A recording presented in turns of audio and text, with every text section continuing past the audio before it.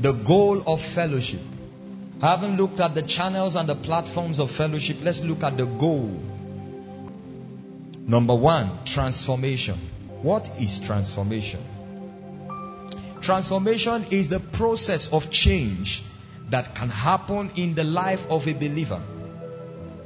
The process of change that can happen in the life of a believer in keeping with or as touching the model of God for that believer, which is Christ.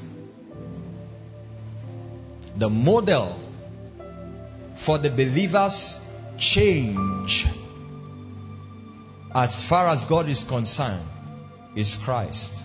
The Bible says Christ is the image of the invisible God. Colossians 1:15. So our transformation, the goal of our transformation, the goal of our change from one dimension after another is that your life comes to a point of conformity to the image of Christ. So people can look at your life and see through your life the wisdom of Christ. See through your life the person of Christ. Your character begins to display the person of Christ. They may not have been around 2000 plus years ago when Jesus walked on the earth, but a man can look at your life and be able to see through time to Jesus that walked on earth who carried the fullness of God in him. That is, the, that is what transformation is all about. This is the goal for fellowship. Number two, the goal of fellowship is growth and edification. Growth and edification. First Corinthians 14 in verse 4.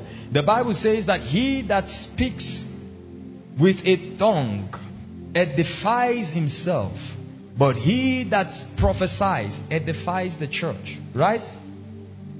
Edifies himself, recharges himself. Another meaning for edification is to build. To build. Some of you, unknown to you, God has invested so much in you by reason of your fellowship with the Holy Spirit that what is in you now can sustain an entire community. What is in you now is strength that is commensurate to 100 men. But when the season for manifesting that reality comes, that's when your eyes will be open. In First John chapter 3, verse 2, it says, Beloved, now are we the sons of God. He said, Though it does not yet appear what we shall be like. He said, But when he appears, we shall be like him, for we shall see him as he is. Growth and edification. And number three, the goal of fellowship is preservation. So, number one is transformation, that you are transformed to conform to the image of Christ Jesus. Number two is growth and edification, that you are matured in truth, you are matured in character, you are matured in grace. And number three is preservation. In First Thessalonians chapter 5, verse 23, Paul made a very powerful rendition, a statement there that I want you to put inside of your heart as far as your Christian experience is concerned. He said, I pray that your spirit, soul, and body be preserved blamelessly. Until when? The coming of the Lord. Remember, the Bible says we are the salt of the earth. And one of the one of the, the, the, the duty of salt is to do what? Preserve.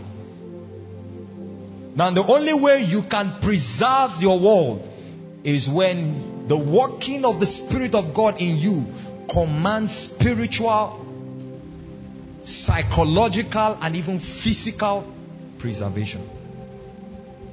Oh, yes, you can be preserved all round.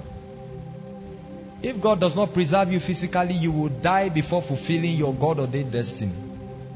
I hope you know on this earth, death is a reality. It is possible that the life of a man can be cut short. But the Bible says of you, it says, You shall fulfill your days. I prophesy to you in the name of Jesus. By the working of the Holy Spirit in your life, I declare that the mouth of the grave is shut over you. And I declare that the fullness of your days you will see. in the name of Jesus Christ that you are preserved spirit, soul, body.